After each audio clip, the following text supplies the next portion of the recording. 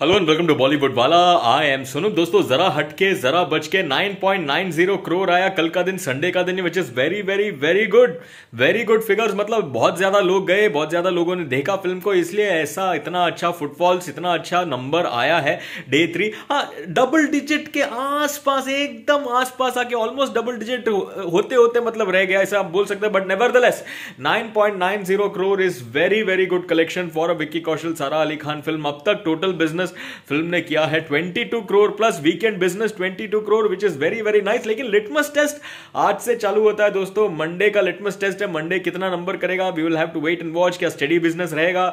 उतना ही रहेगा. We will have to wait and see what what are the numbers like for Monday Tuesday Wednesday weekday कैसा number रहेगा? आशा, उम्मीद मैं यही करूँगा कि अच्छा स्टडी नंबर आए वीकडे को भी तो ये फ़िल्म को और ज़्यादा फ़ायदा होगा. But weekend business very very good for Zara Hatke जरा बच के विकी कौशल फ़िल्म दोस्तों, आपका टेक लिखकर बताना, ये जो नंबर आया है, कल का नंबर अच्छा है कि नहीं वीकेंड नंबर अच्छा है कि नहीं एंड क्या लगता है वीकडे को स्टडी करेगा business let me know and of course like share and subscribe भी करना चैनल को वीडियो का सुपर थैंक्स का ऑप्शन भी है, वो भी आप दे सकते हो। चलिए फॉर द मोमेंट टाटा!